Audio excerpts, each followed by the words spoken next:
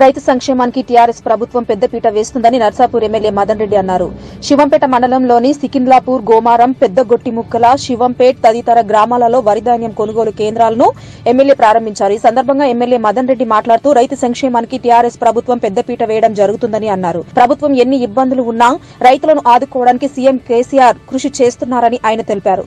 ఈ కార్యక్రమంలో PACS chairman Venkatarama Reddy గ్రంథాలయ సంస్థ చైర్మన్ చంద్రగౌడ్ టీఆర్ఎస్ పార్టీ మండల అధ్యక్షులు రమణ జిల్లా కోఆప్షన్ మెంబర్ మన్సూర్ సర్పంచ్ల ఫోరం మండల అధ్యక్షులు లావణ్య మాధవరెడ్డి వివిధ గ్రామాల సర్పంచ్లు టీఆర్ఎస్ పార్టీ నాయకులు కార్యకర్తలు అధికారులు తదితరులు పాల్గొన్నారు. రైతుల తరపు చాలా సంతోషం. రైతులు కూడా మీరు ఓపిక పట్టవలసిన అవసరం ఉన్నది. నాణ్యమైన ధర ధాన్యాన్ని తీసుకురావాలి. కొంత ఇబ్బంది ఉంటుంది.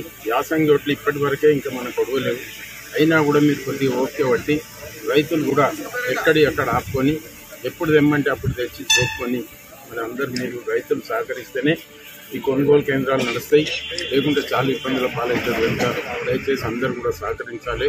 మన నాయకులు కానీ సర్పంచులు కానీ ముఖ్య నాయకులు ప్రతి ఒక్కరు కూడా మరి రైతులతోటి సమన్వయం చేసుకొని మరి కొనుగోలు కేంద్రాలను విజయవంతం చేయాలని కూడా మరి ఎన్ని కష్టాలు ఉన్నా ప్రభుత్వం ఎన్ని ఇబ్బందులు ఎదుర్కొంటున్నా మరి ఇవాళ యాసంగి మన దేశంలో ఎన్ని కష్టాలు పడ్డాం అయినా వర్షాకాలం కూడా భూమికి బరువైన పంట మనందరికీ ఉన్నది. భగవంతుని దయవల్ల అయినా కూడా మన ముఖ్యమంత్రి ఎన్ని నష్టాలు వచ్చినా సరే ఎన్ని కష్టాలు వచ్చినా సరే రైతుల ఒడ్లో కొనుగోలు కేంద్రాలు మొదలుపెట్టి మళ్ళీ అందరినీ కూడా రైతులను ఆదుకున్నారనే ఉద్దేశంతో ఇవాళ మన ప్రేత ముఖ్యమంత్రి గారు ఈ కార్యక్రమాన్ని మొదలుపెట్టుకున్నారు అనే సాహసానికి ఆయన ఉదయ